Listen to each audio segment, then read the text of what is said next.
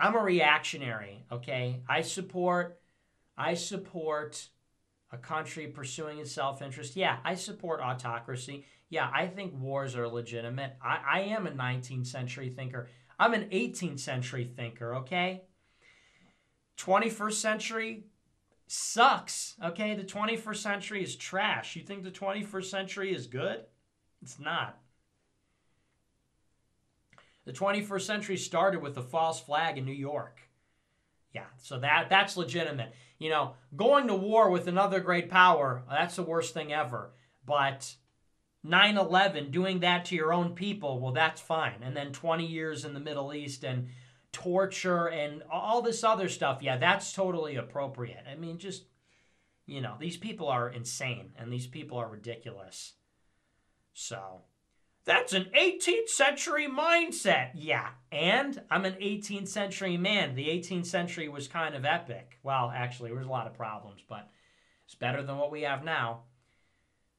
I'm a 17th century thinker. So yeah, you're right. You're damn right. I'm a I'm a 13th century thinker. I'm a 12th century thinker. That has no place in the 21st century. Who said I'm a 21st century man? I'm a 12th century man.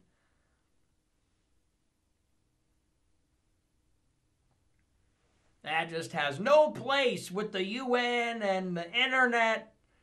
Oh, yeah? Well, fuck the UN and the internet and democracy, okay? What do you think about that?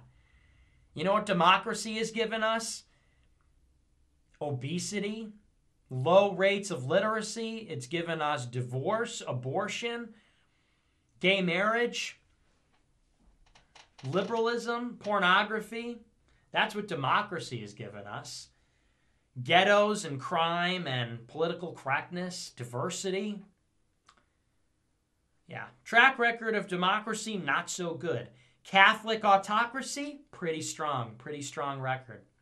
Catholic monarchy, Catholic monarchy and just war and crusades and inquisitions, pretty good stuff. Pretty good stuff.